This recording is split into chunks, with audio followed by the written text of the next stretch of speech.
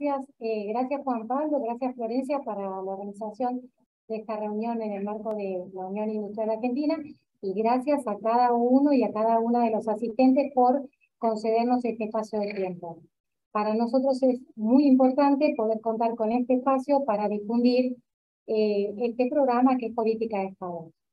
Llegó al punto, como decía Florencia recién, somos tres organismos del Estado los que tenemos eh, programas que financiamos con crédito fiscal. Ellos son el Ministerio de Educación a través del INEP, del cual ya tuvieron una charla, según me han contado recién, y el Ministerio de Trabajo de Nación, charla que nos ocupa en el día de hoy, y el Ministerio de Desarrollo Productivo, que seguramente en algún momento este, seguirán con este ciclo de charla. Dicho eso, entonces, pasamos a hablar de qué trata el programa de crédito fiscal del Ministerio de Trabajo de Nación. Voy a compartir pantalla. Bien. Bueno, ahí vamos.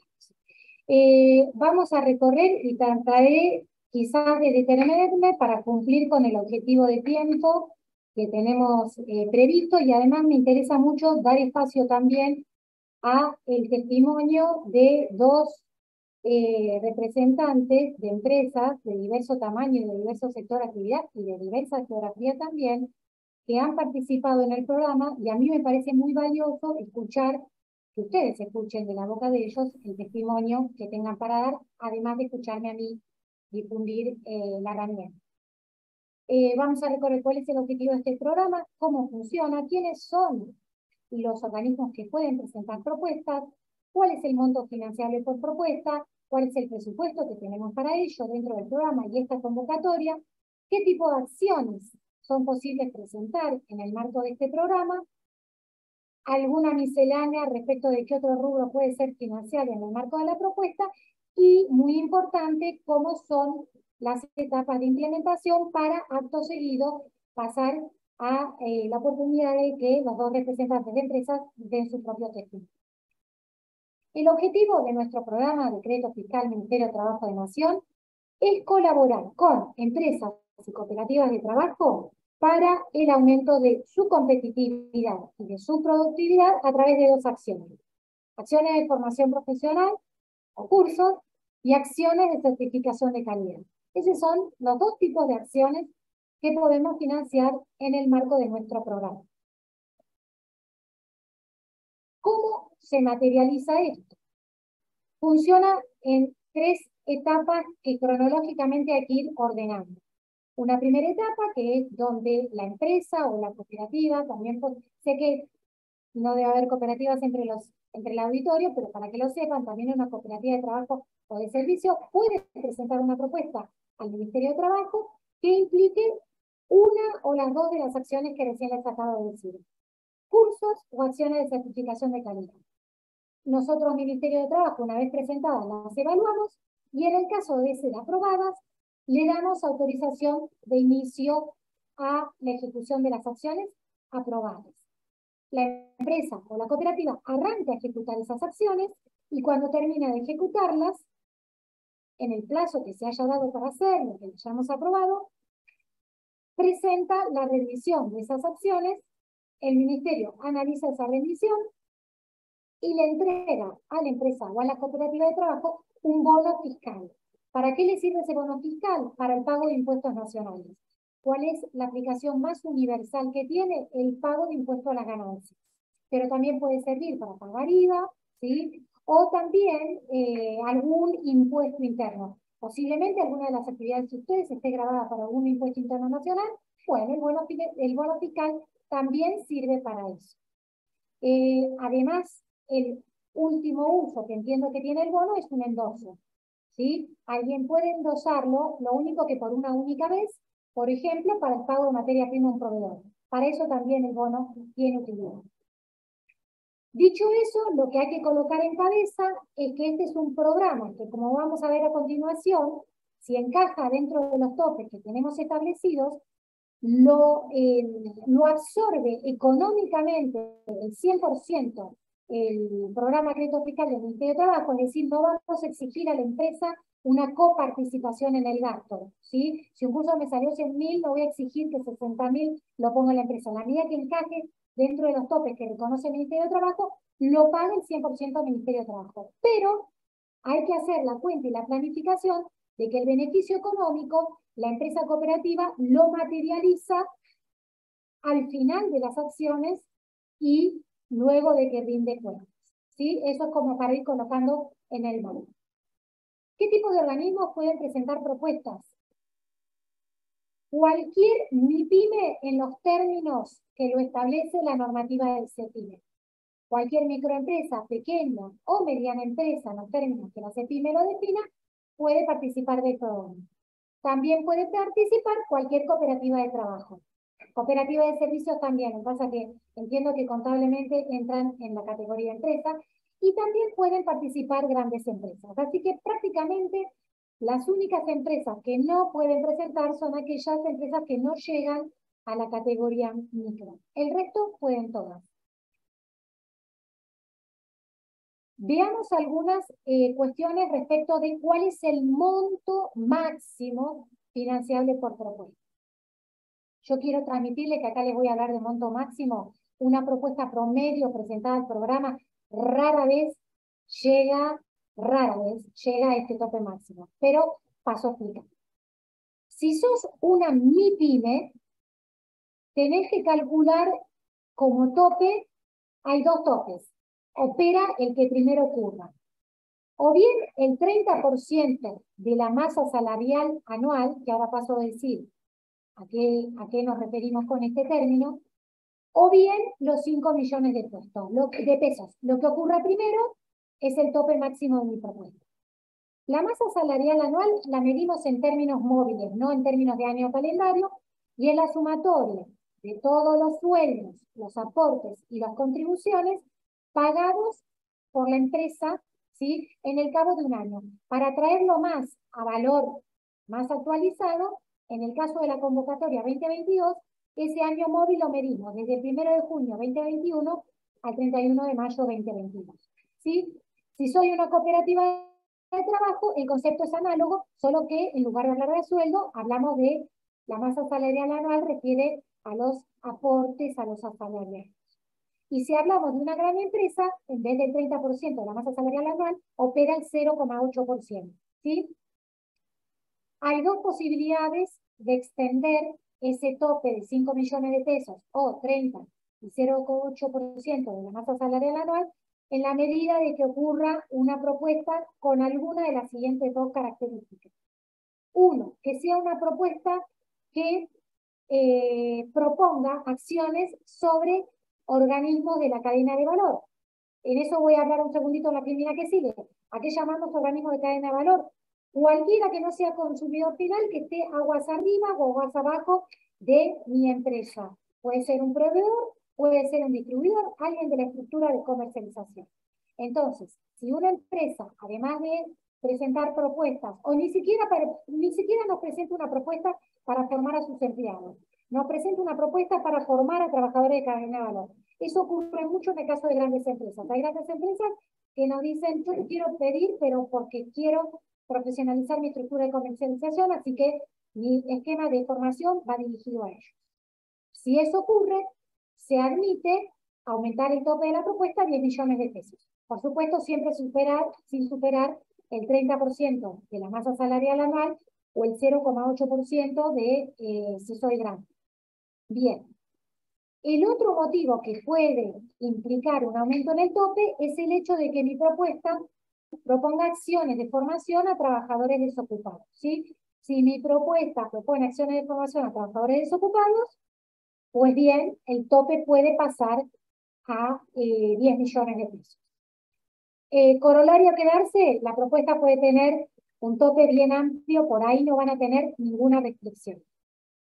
Segundo comentario para decirles, el presupuesto que nosotros, el programa ya tiene asignado, es un presupuesto para esta convocatoria de 500 millones de pesos. ¿sí?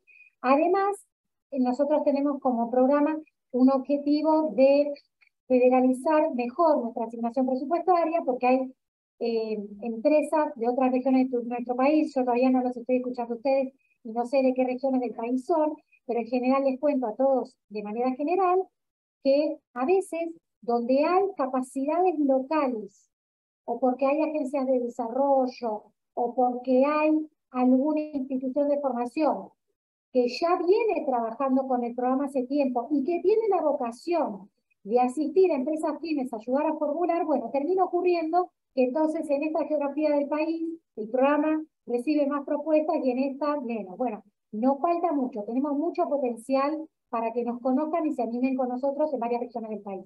Entonces, en ese sentido, los 500 millones de pesos los preasignamos por región. Nada, sépanlo como nota de color general. ¿Qué tipo de acciones pueden presentarse? Lo dije antes, lo paso rápido, cursos o acciones de certificación de calidad. ¿sí? ¿Cuál es el plazo máximo de ejecución de las propuestas? Nosotros para este año establecimos lo siguiente. Si la propuesta incluye solo acciones de formación, que es el 90 y pico por ciento de las propuestas que recibimos, no lo digo como algo negativo, la ejecución de las acciones les proponemos a ustedes que tengan un plazo máximo de ejecución en seis meses. No piensen propuestas más largas que eso. Acotémoslo para que ustedes puedan ver materializado el beneficio en el marco máximo de un año calendario. Si una empresa quiere venir a proponer una acción acotada de cuatro cursos para tal, tal y tal grupo de trabajadores o áreas, se puede hacer. Presenta, se lo aprobamos, lo ejecuta, termina de ejecutarlo, lo rinde. Como máximo, propuestas de seis meses de ejecución en ¿sí? Y si es una acción de certificación de calidad, como naturalmente ya sabemos que las acciones de implementación y certificación llevan más tiempo, en ese caso el plazo máximo es 12 meses. Si en algún caso llegara a suceder, aprobada la propuesta, que la ejecución me quede corto con los 6 meses o con los 12 meses o a los 12 meses, vino Buró Veritas o vino IRAM y no me aprobó la certificación y no quiero perder el apoyo del ministerio y voy a volver a darle evaluación, voy a corregir las no conformidades y volver a dar la certificación más adelante, presenta una nota explicando los motivos por los cuales solicita una prórroga a la ejecución de la propuesta y no le quepa dudas que se la vamos a aprobar. Pero tratemos de enmarcar el plan en este horizonte de tiempo. Respecto de los cursos, a veces nos preguntan, ¿y qué tipo de cursos? ¿Y quién define cuál es el curso? ¿Me lo va a venir a decir a mí el Ministerio de Trabajo? Respuesta, no.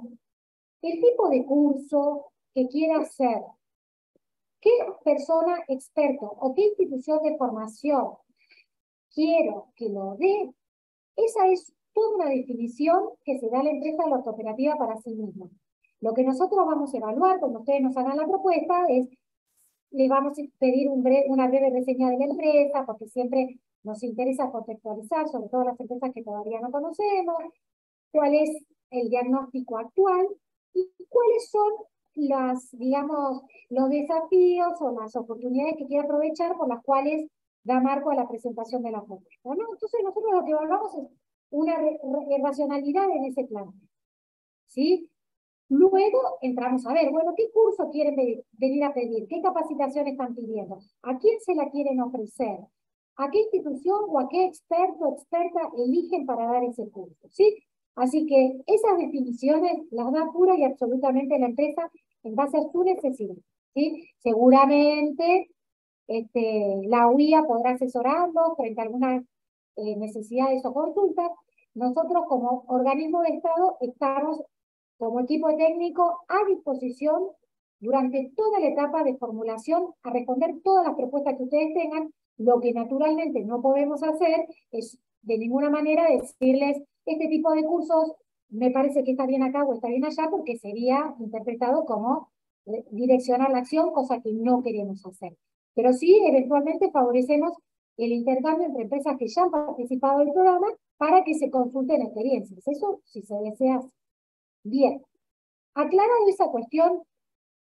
Sí, Santiago, comentame. Sí, ¿qué tal? Buenas tardes. Acá cuando, cuando hablamos de dictados por una entidad capacitadora o un docente con antecedentes, em, hay que, las entidades capacitadoras tienen que estar inscritas en algún registro, tienen que tener una habilitación, y el docente con antecedentes vinculado a la temática también tiene que tener algunas certificación o algo para, para que sea aplicable? Gracias, Santiago. Mira, si es docente, no tiene que estar inscrito en ningún registro. Yo sé, y está bueno que lo preguntes, porque el programa de crédito fiscal de la TPIME, entiendo sí, pide estar inscrito en, un registro de experto PYME. Si es una persona física, no pedimos que esté inscrito en ningún registro. Si es una institución de formación, como el programa se marca en una dirección de formación continua que tiene años de trayectoria, es cierto que nosotros, Ministerio de Trabajo, tenemos un registro de instituciones de capacitación y empleo, al cual es súper sencillo inscribirse. De hecho, incluso cuando vos presentás la propuesta, si la institución que querés elegir, al minuto que presentás la propuesta, no está inscrita, eso no constituye un impedimento para que evaluemos la propuesta. ¿sí? Eh, llegado el caso, cuando te aprobemos la propuesta, vamos a avisarte a vos ¿sí? que eh, facilites o, directamente nos contactamos con la institución de formación para decirle inscribite en este formulario. Pero no es una condición sine qua non para la presentación de la propuesta. Perfecto, gracias. Bien. Los cursos pueden ser cerrados y llevamos cursos cerrados a los cursos ad hoc, diseñados por la empresa y para la empresa. O sea, la empresa eligió en qué quiere formar, eligió al experto o la institución que le va a dar la capacitación y en general viene a la empresa, en general es lo que más nos gusta, que enseñe dentro de las instalaciones de la empresa. Pero también puede ser un curso cerrado donde uno dice, no tengo la instalación adecuada para enseñar esto, quiero mandar a cuatro trabajadores del área de matricería a que hagan este curso en, no sé, la escuela de capacitación de la DINRA por tal o cual cuestión. ¿sí? Curso cerrado es curso pensado para y por la empresa. Y también existe lo que se llama curso abierto, que no voy a entrar en detalle, sencillamente curso abierto es un curso arancelado, ¿sí? O sea, un curso donde la empresa no quiere generar eh, el espacio de elegir un docente y traerlo a la instalación de la fábrica, porque además no tiene mucho sentido, porque quizás es que a una persona del departamento técnico quiero que haga un curso de diseño industrial que ya se ofrece en la institución pública, de oferta pública, a la cual le pago el arancel para que haga el curso y punto. Bueno, eso es un curso abierto. También se puede. Me apuro. ¿Quiénes pueden ser los destinatarios de las acciones? No solo empleados, sino también, como anticipé antes, trabajadores o trabajadoras de empresas de la cadena de valor, sean empresas, sean cooperativas, o desocupados. En el caso de que se desee presentar formación a desocupados, lo que nosotros decimos es esto, algo que les va a parecer una obviedad, pero lo aclaramos. En temáticas que tengan que ver con el área de expertise de la empresa. ¿Sí? Después, la segunda eh, aclaración, también obvia, pero la aclaramos, es que haya en el alcance de la formación a desocupados un, un, criterio lógico en base a la dotación de la empresa. Nosotros no le vamos a pedir a la empresa que si forma un desocupado lo incorpore laboralmente. No. Lo que le vamos a pedir es que haya una perspectiva de que potencialmente en el mediano plazo pueda ser incorporado. No que lo incorpore. No va a haber nada más importante para un trabajador desocupado haberse formado en las instalaciones de una empresa, aunque no quede incorporado, eso ya va en su currículum, y a su vez para la empresa, eh, la actividad de la capacitación dirigida a desocupados puede ser una forma de ir armando una bolsa de trabajo o un, semillero de potenciales ingresantes. Bien, ¿qué financiamos? me apuro porque quiero dar tiempo al resto. Honorarios docentes, que en general es el costo más sustantivo que eh, las empresas necesitan. Eh, ya antes me van a tener que haber dicho, quiero un curso de tal tema, con tales contenidos, con tal carga horaria. Eso lo vemos después en detalle. Y para ponerle valor a ese curso hay que multiplicar la carga horaria que tenga el curso por el honorario docente. Nosotros para esta convocatoria estamos financiando hasta 3 mil pesos la hora. ¿sí? Eh, esto ya lo comenté antes con la pregunta de Santiago, puede ser persona física o institución. Además, marginalmente, si es un curso de oficios, en la industria esto puede ser y requiere el consumo de insumos, nosotros podemos financiar hasta 5.400 pesos de insumos por participante, ¿sí? Además, si es un curso que va dirigido a desocupados, ¿sí? Y además, para hacer el curso requeriría una determinada ropa de trabajo y elementos de protección personal, no podemos pretender que la empresa cooperativa lo aporte para el desocupado, entonces el Ministerio de Trabajo, en ese caso específico, aporta 4.500 para ropa de trabajo y 6.750 para elementos de protección personal. Equipamiento también, pero el equipamiento lo aportamos sí, solo sí. La empresa viene a presentar una propuesta que tiene un entramado institucional conectado con una institución de formación. Es decir, no financiamos equipamiento para que quede dentro de las instalaciones productivas de la empresa. Ahora, si es una empresa que tiene vínculo con una escuela técnica o con un centro de formación profesional eh, en la que se forman profesionales que, eh, o profesionales o trabajadores que son reconocidos por la empresa porque habitualmente es una búsqueda habitual de potenciales interesantes a la empresa y la empresa le quiere retroalimentar a esa institución de formación con equipamiento de formación que le vaya sirviendo para estar actualizado, eso está nítido. En ese caso, el equipamiento en el marco de la propuesta puede llegar ahí. Además, ah, pasemos ahora, eso creo que es lo más importante en relación a cursos. En relación a acciones de certificación de calidad de procesos, nosotros financiamos las dos etapas claves de una acción de certificación, que es la implementación, prepararse, y la certificación, evaluarse. Eh, en ese caso, financiamos hasta 150 mil si es una implementación por vez primera eh, o 150 mil si es una rebanda para prepararse.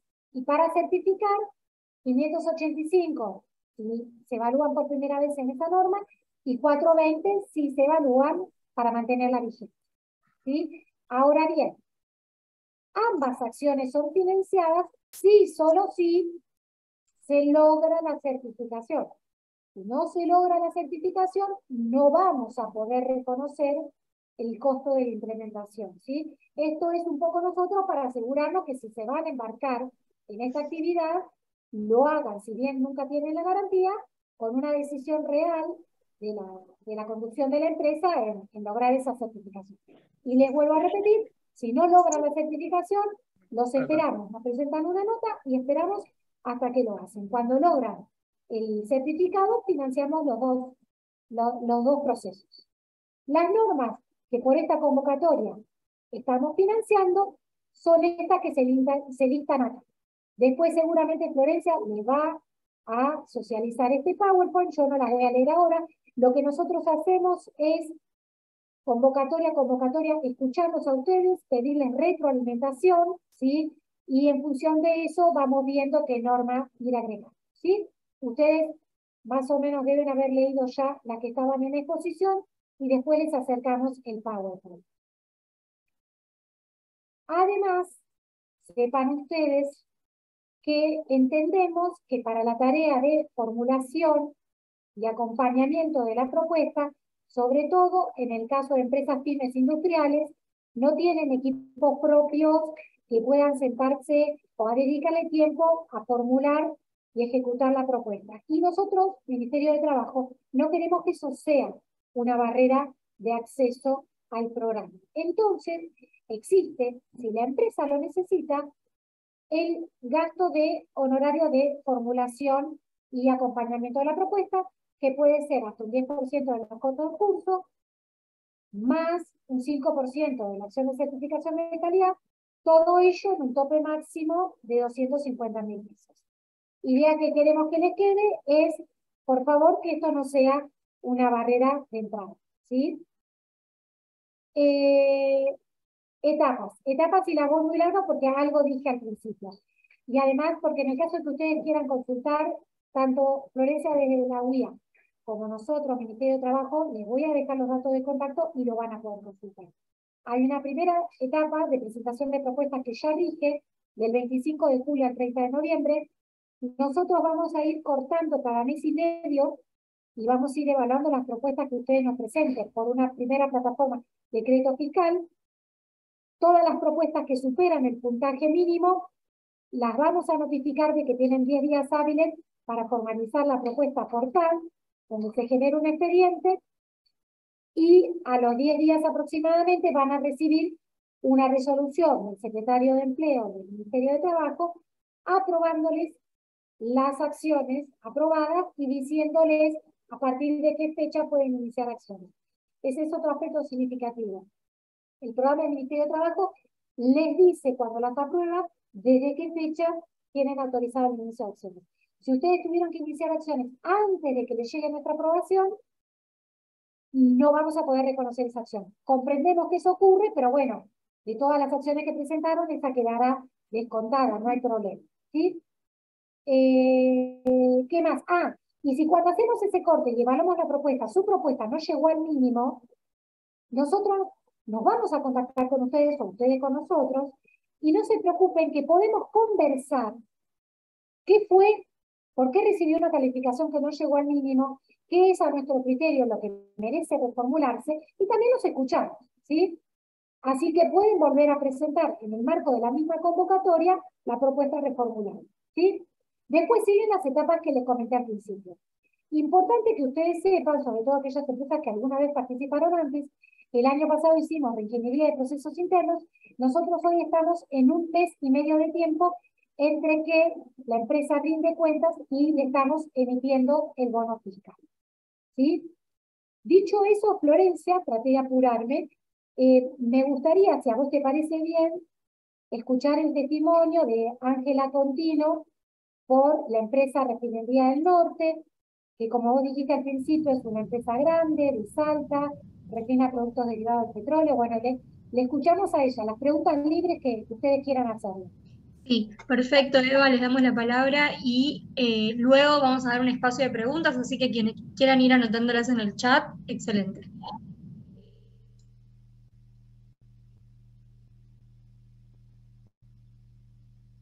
¿Estará Ángela? Está Ángela, pero no se la está escuchando. La veo ahí hablando, pero no se escucha. Si querés, mientras Ángela arregla el tema del micrófono, que eso me ha pasado, podemos pedirle a la empresa ARA, que es una empresa mediana, que es la primera vez que participa del programa de crédito fiscal en la que está ejecutando ahora, así que también puede darnos su perspectiva, puede ser valiosa. Sí, perfecto. Tenemos eh, a, Emilia y a Carlos, así que si quieren tomar la palabra.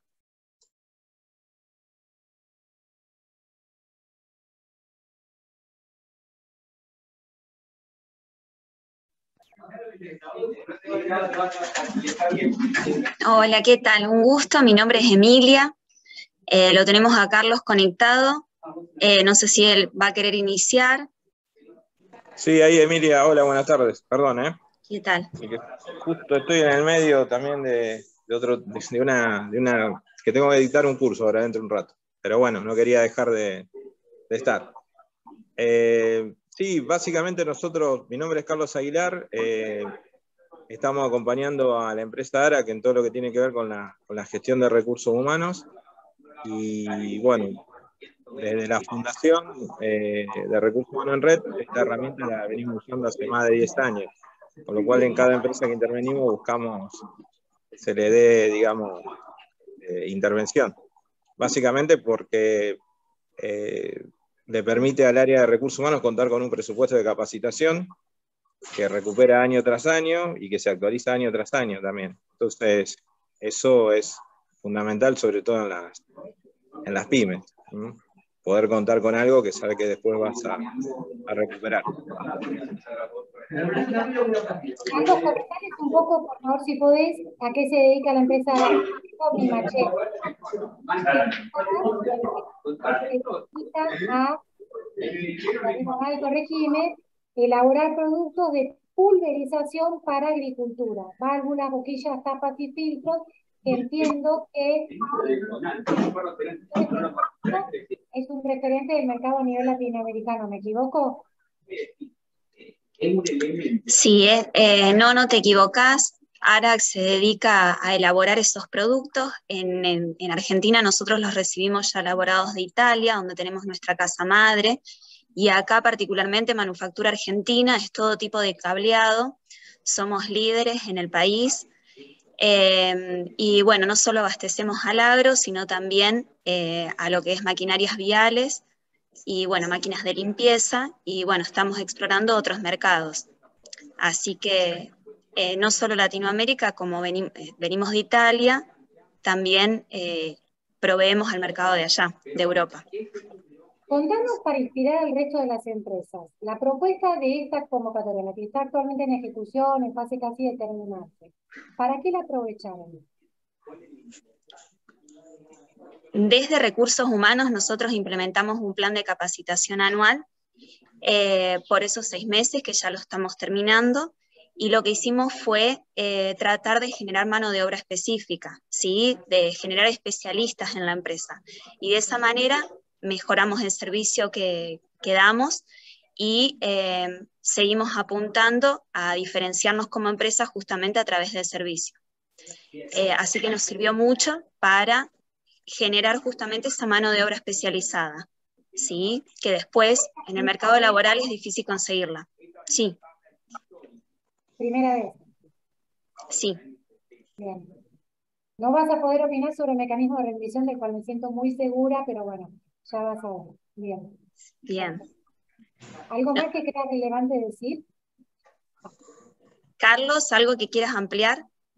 No, en realidad de lo que te comentó recién Emilia, Eva, es este, cuando se pensó el plan de capacitación, como te dice ella, se pensó desde ese lugar, de mejorar la, la empleabilidad y la calidad del capital humano. Entonces se desarrolló todo un programa específico para el área de producción, para los chicos que, están en el área de producción, y después se fue buscando seguir la misma línea para los otros sectores de la empresa, recursos humanos, el área comercial, el área de administración.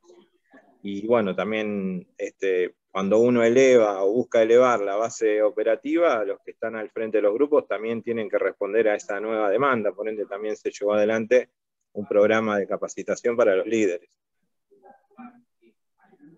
Perfecto, perfecto. Gracias, Emilia. Gracias, Carlos. Eh, Gracias. Eh, si se solucionó con Ángela el tema del audio. Hola. Sí, se escucha. Ah, perfecto. Bueno, buenas tardes a todos.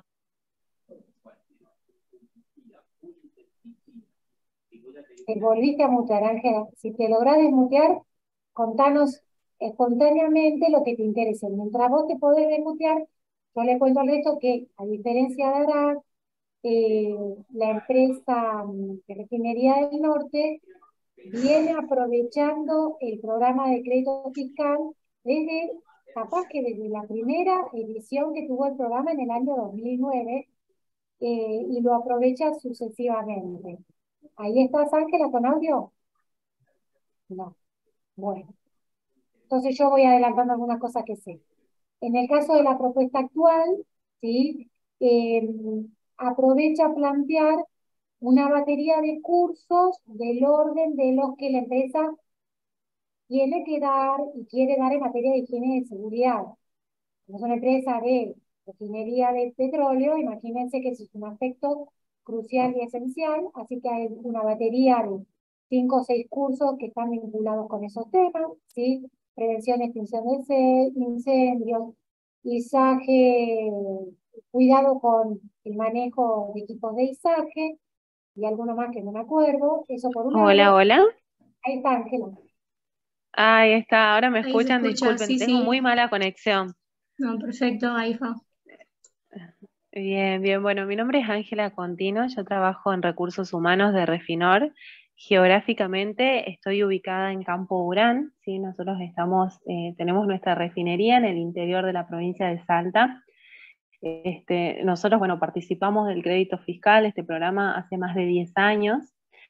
Em, bueno, decirles que, como un poco decía Eva, por, por la industria en la que nos, a la que nosotros pertenecemos, si hacemos muchas capacitaciones y nuestros planes están vinculados a toda la parte de calidad, seguridad y medio ambiente. Eh, también, además de capacitar al personal propio, también nosotros este, tenemos la intervención muy directa de, personal de contratistas, a la cual también se los capacita para realizar este, la conducción segura de equipos de izajes, de autoelevadores. Eso por, el, por la parte, digamos, este, operativa. Y luego tenemos capacitaciones relacionadas a emergencias, que también este, se capacita y se, y se, trabaja fuerte en eso, em, en todas las locaciones de Refinor, ¿no? de poder estar preparados ante una situación de emergencia. Y por otro lado también eh, trabajamos en el desarrollo de otros tipos de competencias, un poco más blandas o de gestión, eh, actualmente, por ejemplo, eh, estamos trabajando en un programa de mandos medios. Eh, bueno, nosotros al pasar de los años, este programa nos sirve justamente para eso, ¿no? Para trabajar fuerte en, lo que es la seguridad, calidad y medio ambiente, que es el, pilar de, todas nuestras operaciones. Y Ángela también tenía la propuesta actual, digo, la empresa refinería ya tiene la certificación ISO 9001. Exacto, sí. Ustedes también están aprovechando, por ejemplo, digo para inspirar un poco al resto, ¿no? Eh, el marco de esta propuesta para hacer un refuerzo de formación en sostener vivo ese sistema de calidad. No me acuerdo exactamente cómo se llama el curso, pero a pesar de tener ya implementada y viva el sistema de calidad del, del conjunto 9001, hacen ahí, aprovechan algunos cursos de refuerzo para sostenerlo eso entre la dotación, ¿no es cierto? Exactamente, nosotros tenemos este, pensado y programado eh, hacer la recertificación de, las normas, aprovechar también el, e, este programa para eso. Este, a nosotros, bueno, nos, nos viene de 10, ¿no? Obviamente, porque también, como decía, el aspecto de calidad es muy importante para nosotros. Así que está planificado hacerlo. Bien, Muchas gracias, Ángela. Gracias a ustedes. Sabíamos que tienen otros compromisos y gracias por haberse hecho la planificación de tiempo en compartirlo. No sé si el resto del auditorio quiere aprovechar para hacerles alguna consulta a ellos. Juro que no intervengo. No. Bueno. Ahí, Eva, les habíamos pedido que, bueno, primero agradecer a las, a las empresas que contaron su experiencia y también eh, abrir a que todos los que están presentes eh, hagan preguntas en caso de que haya quedado alguna duda de la presentación tanto de Eva como de las dos empresas que hablaron. Tenemos ahí, habíamos pedido que en el chat consulten, tenemos unas consultas ahí, Eva. En primer lugar, eh, preguntaba Milagros si una maestría ingresa dentro de la formación. No. Buena pregunta. Posgrado, terciarios y universitarios, no. Bien. Después tenemos la otra pregunta, si no veo mal, es la de Matías. Matías, si querés hacerla eh, hablando, así no leo todo lo que, lo que has escrito, si no lo leo sin problema. Hola, ¿qué tal? Buenas tardes. Hola, Matías. Bueno, había voy a tomar tiempo para escribirlo para que quede, se entienda, pero bueno, lo voy a hacer eh, hablándolo mejor. Eh, la parte más que nada de, nosotros queremos empezar con el tema de la certificación de, oh, soy Matías Gerosa de la Agrícola acá de Crespo, una cooperativa también eh, grande, y queremos empezar a trabajar con, si bien ya tenemos certificado una fábrica de alimentos, queremos entrar con el programa para, bueno, justamente recertificar y también la idea es otros otros rubros de la cooperativa, certificar normas de calidad, eh, inocuidad alimentaria y bueno, también la parte de higiene y seguridad si, si podemos. La consulta es eh, cómo se reconoce el monto, el monto total, si se divide, al, o sea, hacer normas ISO, si se divide o por ser rubro distinto, igualmente se, eh, como que se gestiona el total. Gracias, Matías. Mira, afortunadamente tengo buenas respuestas para darte. Decirte que podés pedir el, combo que necesites, porque es, cierto, nosotros cuando una empresa certifica un paquete de calidad, ya sabemos que a veces difiere del alcance, no es a toda la empresa, es a cierto sector. A veces si tiene muchos establecimientos, es en este establecimiento sí, en este establecimiento no. La verdad que nuestra normativa a favor de la empresa cooperativa no entra en ese detalle, no exigimos si es para toda la empresa, así que podés pedir varias paquetes de acciones. Podés pedir la recertificación de 9001 donde ya lo tenés y además pedir la certificación de la de seguridad y higiene en Así que podés hacer el combo que quieras. No creas que lo tenés que hacer todo junto, tampoco, no te vuelvas loco, ese es mi consejo. Pero podés hacer, y cada tope funciona individualmente para cada acción.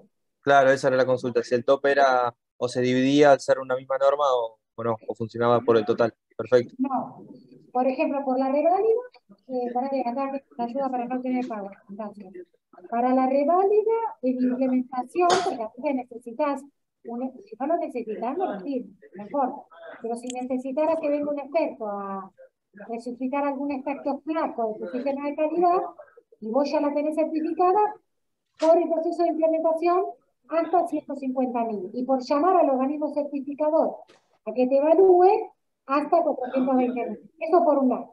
Después, si tenés una nueva norma, tenés hasta 150 por implementar y 585 para el organismo certificado para que te evalúe. ¿Se entiende? Bien, sí, sí, perfecto. Ahora sí entiendo. Muy bien, muchas gracias.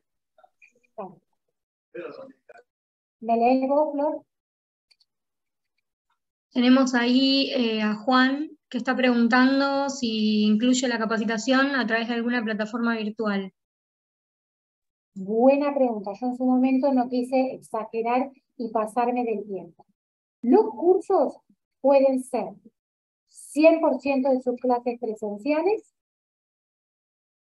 También pueden ser algunas clases presenciales y otras virtuales. A eso lo llamamos semipresencial y también pueden ser 100% virtuales. ¿sí? La única aclaración que les hago en este sentido es esto. Todavía el programa nuestro no tiene preparado la presupuestación para reconocer cursos virtuales y asincrónicos. Ustedes vieron que hay algunas actividades de capacitación cortas que son autoadministradas. Nosotros reconocemos que esas capacitaciones tienen validez, pero la verdad es que no la estamos financiando en el marco del programa porque tenemos que todavía ensayar a qué costo las reconoceríamos, porque naturalmente no las podemos reconocer al costo como si el docente estuviese parado frente a una cantidad de trabajadores. O sea que clases virtuales, clases virtuales y presenciales o clases 100% presenciales, pero todas las instancias sincrónicas. Una persona cubriendo el rol docente frente a las personas que se vayan a capacitar. Después voy a leer, ¿hay más? ¿No hay más preguntas?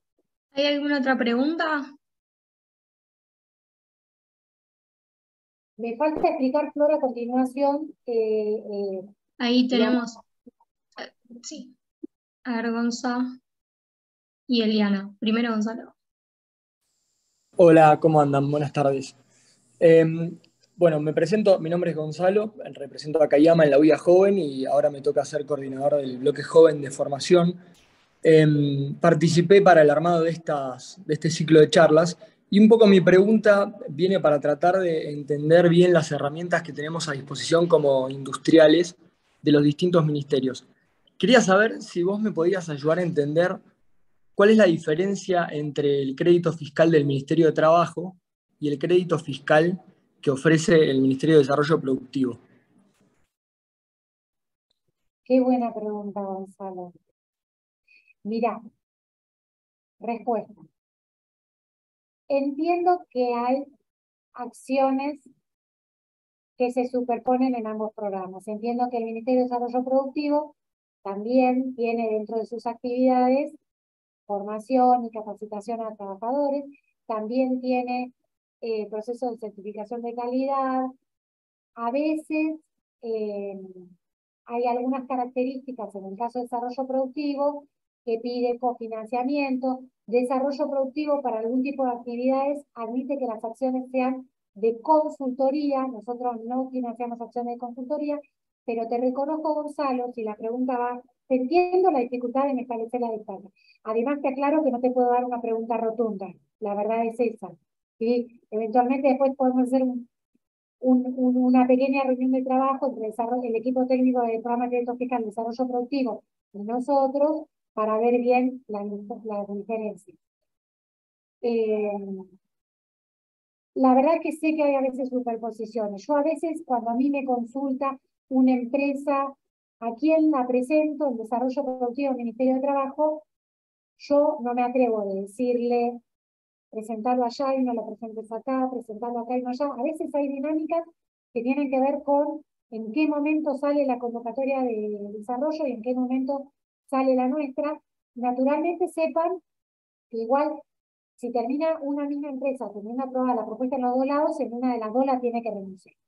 Entonces, decirte que desarrollo productivo tiene un componente de consultoría que nosotros no tenemos, eh, decirte que para determinado tipo de gastos, desarrollo productivo pide cofinanciamiento, nosotros no pedimos, lo máximo que vos tenés que fijar es si los 3 mil pesos por hora docente te alcanzan o te faltan, pero cofinanciamiento no te vamos a pedir. Eh, y después hay algo que tiene que ver en el orden de la temporalidad, cuándo lanzó la convocatoria de desarrollo productivo y cuándo no. La verdad es eso. Eh, no, acá me, me, ponen el machete de otra diferencia. Nosotros, eh, grandes, grandes empresas, tiene permitido presentar propuestas al programa de crédito fiscal del Ministerio de Trabajo. En el desarrollo productivo no, porque ellos tienen otras herramientas de apoyo para las grandes empresas. Después puede pasar también, alguna vez me lo ha dicho el equipo técnico de desarrollo productivo, aunque no lo veo establecido con claridad en la normativa, Desarrollo productivo, en el caso de formación a trabajadores desocupados, está más condicional, ¿no? Si yo soy una empresa que estoy, como que, como no sé, me estoy montando, no sé, el otro día nos consultaba, desarrollo productivo nos pasaba un conglomerado, cinco marcas de indumentaria que se habían asociado en un, en un establecimiento industrial en Catamarca, que había abandonado alpargatas, para confeccionar. Entonces eran cinco marcas distintas poniéndose de acuerdo para la confección y necesitaban formar a muchas personas locales desocupadas para saber hacer como ellas pretendían. Pero esto de salir a capacitar a muchos desocupados excedía las posibilidades de desarrollo productivo. Entonces, no nos venía a pasar a nosotros, al Ministerio de Trabajo. Pero sería falso si yo te digo que la principal actividad nuestra va dirigida a desocupados, porque al final las propuestas que recibimos, y es lógico, las empresas las piden en primera medida para sus empleados. Así que no sé si aclaré o oscurecí. Este, eventualmente podemos trabajar un poquitito y después, cuando lo tengamos más claro. Pero creo que las diferencias las dije, así mismo como admito que hay algunas cosas que son iguales. Te, te, agradezco muchísimo la respuesta y te tomo esa parte donde por ahí nos propones hacer una reunión entre ustedes y el Ministerio de Desarrollo Productivo como para bajar a tierra bien hacia dónde encarar en función de lo que querramos hacer como capacitación para después salir a comunicarlo, que es un poco el, objetivo de estas charlas, para ver hacia dónde ir. Bueno, igual, mientras persista la duda, ustedes presenten que nosotros tenemos la convocatoria bien. Pero hacemos esa reunión, obvio. Bueno, gracias ahí por la respuesta, Eva. Eliana. Bien, gracias. Bueno, me presento. Buenas tardes a todos. Mi nombre es Eliana Galarza. Formo parte de, también de Fundación Recursos Humanos en Red, como estaba hablando Carlos hoy del equipo de ARAG. Eh, mi consulta más que nada iba por el lado de si hay alguna incompatibilidad entre crédito fiscal en la parte de que se puede sumar a, desocupados para los programas de formación con los programas de entrenamiento o PIL. ¿Por qué mi consulta? Porque eh, me ha pasado en empresas donde abrimos para sumar a desocupados porque hacemos muchos programas de entrenamiento o de PIL y a la hora de cargarlos mm, nos da como rechazado, porque como que por la respuesta que tenemos es todavía no son compatibles los programas, pero bueno, a la hora de solicitarle a las oficinas de empleo participante nos encontramos que a lo mejor de un cupo de cinco personas nos mandan uno o de un cupo de diez nos mandan tres. Entonces, saber eso, si hay alguna forma para aprovechar, ya que tenemos los chicos de entrenamiento, sumarlo a la capacitación. Gracias, Eliana. Le aclaro al resto para que sepa, Eliana, como, como referente de una institución de formación que trabaja con muchas de las empresas que presentan en convocatoria, conoce no solo este programa, sino otras herramientas de apoyo que tiene el Ministerio de Trabajo para la inserción laboral. Uno de esos programas es el entrenamiento y otro de los programas son los programas de inserción laboral. Entonces, Eliana está haciendo la consulta en relación a esos otros programas. Y en relación a eso, ella dice, si una persona está dentro de eh, un programa donde el empleador tiene beneficios para la incorporación laboral de esa persona, si eso es incompatible con que esa misma empresa esté presentando una actividad de capacitación dirigida a esa misma persona. Entiendo lo que decís, Eliana, esa era una incompatibilidad de los sistemas de información que no tenía sentido y que ya está corregido. Ya está corregido. Ah, ah perfecto. Entonces, si yo ahora quiero cargar, chicos, que a lo mejor me queda la vacante y los tengo en entrenamiento, puedo cargar los datos y puede que lo acepten también para la participación en esta capacitación. Sí. Perfecto, muchas gracias. Gracias, Eliana. Eh, Fabio. ¿Qué tal? Eh, sí, Fabio de Leo es mi nombre. Eh, represento a Camima y, mi empresa es DMD Compresores. Quería consultar si, si esto, este, este plan fiscal, este, estos bonos, tienen alguna restricción con el tema de nóminas. Porque, por ejemplo, para algunos planes que el Ministerio de Trabajo tiene para no sé, te sumo y ese tipo de planes, en algunos casos, cuando hay baja de nómina o aumento de nómina, bueno, hay algunas condiciones con respecto a la nómina. ¿Esto tiene, está relacionado también con nómina o, es, un, o es abierto? No, no, Fabio, una vez que vos tenés el bono fiscal, nadie va a controlar si tu nómina permaneció igual, subió o bajó, no. Pero no es condición, no se controla tampoco al pedirlo el o sí. Porque nosotros había veces que pedíamos el plan, a veces circunstancialmente te baja la nómina, porque también la gente hoy eh, en muchos casos rota también. Y, había veces que no accedíamos al, plan de sumo, por ejemplo, porque había bajado la nómina eventualmente, pero nosotros queríamos incorporar gente con el plan de sumo para, para aumentar la nómina y nos decían, nos dijeron que no, que no se podía. Entonces, por eso lo preguntaba para ver si, si había alguna restricción con respecto a nómina y, o esto era un tema de capacitación que, va por otro camino y no sé. exacto, exacto. Eh, nosotros te preguntamos cuál es tu nómina, pero sí, nosotros te preguntamos cuál es tu nómina, pero para tener un dato eh, característico.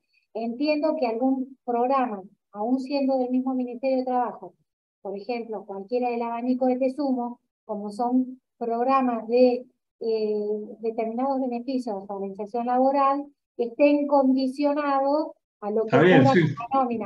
Pero en el caso nuestro son acciones de certificación y de formación, así que nada, te preguntamos qué nómina tenés, pero para caracterizar, nada más. La condición es ser una empresa MIPYME, en los términos de la CEPIME, o gran empresa o cooperativa de trabajo de servicios y no estar incluida en el REPSAL. El REPSAL es un registro que el Ministerio de Trabajo tiene en empresas que están con sanciones laborales pendientes de resolverse. ¿sí? No quiere decir que si están pagando algún convenio en cuotas no están en REPSAL. Hay un registro público que se llama REPSAL si la condición es no estar ahí adentro, básicamente. Pero no controlamos la evolución de la nómina. Y, un tema, si, me permiten, eh, que, te quería comentar es, eh, con este tema de, de, la educación, eh, habría que buscar a ver si se puede encontrar algún mecanismo a través del Ministerio de Educación para que los chicos vienen muchas veces a las prácticas profesionalizantes. La, la verdad que cuesta mucho que las empresas le den bolilla a esto pero es este, como forma parte de la educación, del plan de educación de los chicos, esto lo, rige el Ministerio de Educación de cada, en las provincias. Eh, hay un tema que, tiene que, es importante también para la inserción laboral de los chicos, es que es la formación de sus formadores. Es decir, los profesores mismos que les enseñan a los chicos en los colegios muchas veces necesitan actualizaciones y el, eh, que muchas veces es más fácil que las reciban dentro de las mismas empresas o en las instalaciones de las mismas empresas. digo, lo digo como, como un tema para futuro, pero que... es, eh, es interesante, Fabio, lo que planteas, es algo que también tenemos como acción dentro del departamento para seguir encarando quizás más con el Ministerio de Educación, eh, pero me parece, gracias por traer la pregunta y la tomamos No, porque- el departamento también.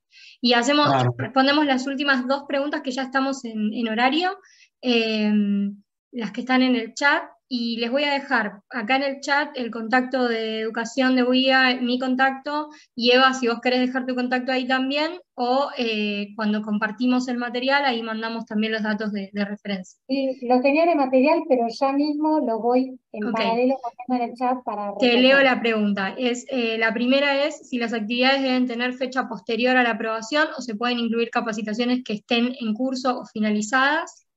Eh, es, sí, bueno, responde si quieres responder eso. Contesto. En ese caso, nosotros, las acciones que podemos reconocer son aquellas que transcurran después que le dimos la señal de largada. Todo lo que se haya hecho antes de que les hayamos dado la señal de largada no se puede reconocer, aun cuando se haya iniciado en el periodo de tiempo que haya transcurrido desde que se presentaron la propuesta hasta que se aprobaron. Así que retroactivo no. Bien. Y la otra, la última pregunta es, eh, ¿qué flexibilidad hay para modificar la propuesta de formación presentada? Bueno, como todo en la vida, uno tiene aprobado un plan y después la realidad puede desviarse un poquitito de ese plan. Hay algunas cuestiones que se pueden modificar, otras no. Cualquiera puede decir, yo quería hacer este curso, pero ahora no lo quiero hacer, lo renuncio a la ejecución de curso, digo, si me aprobaron cinco cursos, pero hice tres y no quiero hacer los otros dos, no hay problema, renuncia, termina y rinde con los tres cursos. Después, ¿hay algún grado de libertad, de libertad que la empresa pierde? ¿En qué sentido? Así como les digo que el Ministerio de Trabajo les puede financiar la completitud de lo que pidan, mientras que no supere el tope, les digo esto. Eh, si la acción es un curso, cuando ustedes el curso desean iniciarlo, tienen que dar aviso al Ministerio. Todo esto, esto se lo explicamos después más cuando estén ejecutando, ¿no? Entonces, ahí, en ese minuto donde ustedes dicen, quiero que este curso arranque el 4 de octubre, y además nos tiene que decir, las clases las voy a dar tal, tal tal día, de tal hora, tal hora, en tal lugar. ¿Esto por qué? Porque así nosotros tenemos en el Ministerio de Trabajo una estructura aislada de la nuestra como programa que supervisa las acciones de la Secretaría de Empleo. ¿En base a qué? En base a eso que está informado. Cuando le dijimos que era cada una de las clases de ese curso. Entonces, ¿en qué pierde un grado de libertad la empresa? Si tenía una clase prevista el jueves y resulta que el martes salió de funcionamiento un equipo y se le retrasó toda la actividad de producción del martes y la necesita compensar el jueves, es natural que la empresa diga, levanto la clase del curso porque tengo que recuperar horas productivas. Lo que tiene que la empresa hacer es acordarse que tiene que mandar un mail a un técnico del programa nuestro y avisarle, che, la clase del jueves la levanto y la recoloco tal otro día. En eso es lo único que pierde grado de libertad. Entonces, ¿puede cambiar? Sí, lo que pasa es que todo cambio tiene que, como mínimo, ser informado al Ministerio de Trabajo. Después vemos detalles. Se puede renunciar, eh, a veces la gente tiene miedo a renunciar a una parte de las acciones. No hay problema, no entra en ninguna lista de, de gente vista con mala cara. Si algún curso no lo puede hacer, avisa, este curso finalmente no lo hago, punto. Disculpen, ¿puedo hacer una última pregunta? Sí. Es una mezcla de lo que había hecho Eliana. Antes que nada, bueno, mi nombre es Fiorella. Eh, es una mezcla de la pregunta que eh, realizó Eliana y uno de los chicos eh, aquí en el chat. Nosotros actualmente tenemos chicos que ingresaron con alguno de los planes eh, del Ministerio del Gobierno y a la vez por aquí preguntaron si aquellos que eh, ya recibieron una capacitación, si había que tener finalizado una capacitación o esté en curso, eh, en este caso lo reconocerían. Si hay un plazo, un ejemplo, de seis meses y ya comenzaron, pero faltan, no sé, cinco meses todavía, ¿reconocen una parte de eso o directamente quedan nulo? No podemos reconocer cursos que ya hayan arrancado antes de la aprobación, pero en el caso de que eso ocurra, Fiorella, eventualmente podés llamarnos y podemos ver alguna cuestión, pero yo no te lo puedo decir y asegurártelo. Por ejemplo, eh, reconocer las clases que fueron hechas con posterioridad a la aprobación. Podemos analizar sobre tu pedido algún tipo de excepción en ese sentido. Gracias. Bueno, me parece que ya terminamos con las preguntas. Si quieren postular, eh, lo hacen a través de la página, ¿no? ¿Postular proyecto, Eva? Sí, sí. Bien, sí, sí. Yo acá le puse en el chat la página web nuestra y además, después Florencia, yo te puedo pedir a vos, ¿no? Te socializo el PowerPoint. Sí, sí, sí, nosotros vamos a mandar por correo, ya para finalizar, les comento que vamos a mandar por correo a quienes se inscribieron en el formulario de Google, todos los correos que registraron ahí van a, recibir el material de la reunión y bueno, eh, la grabación va a quedar en YouTube disponible. Quienes no se inscribieron, dejé hace un ratito en el chat el formulario para que dejen ahí su correo, así les llega el material. Y bueno, agradecemos a, las dos empresas que presentaron sus testimonios y a Eva por el tiempo y la claridad. Gra- gracias a ustedes. Y sepan todos, todas, que acá no somos una pantalla. Hay un equipo de gente, me están viendo ahora a mí, pero somos un equipo de gente es dentro de la estructura central y además después en las estructuras territoriales de, de- de los diversos eh, eh, agencias territoriales del Ministerio del país, que estamos para ayudarlos. Mientras estén formulando toda la asistencia. Cuando apretaron el botón de presentar, ahí sí tenemos que nos les obliga a hacer un silencio para evaluar y cuando les notificamos resultados podemos volver a hablar. Pero estamos para ayudarlos, eso. Bueno, y recordamos que hasta el 30 de noviembre tienen tiempo para hacer las postulaciones. Bueno, saludos a todas, a todos, muchas gracias por participar y nos vemos la próxima. Gracias. Hasta luego. Muchas gracias. Gracias. Buen día a todos.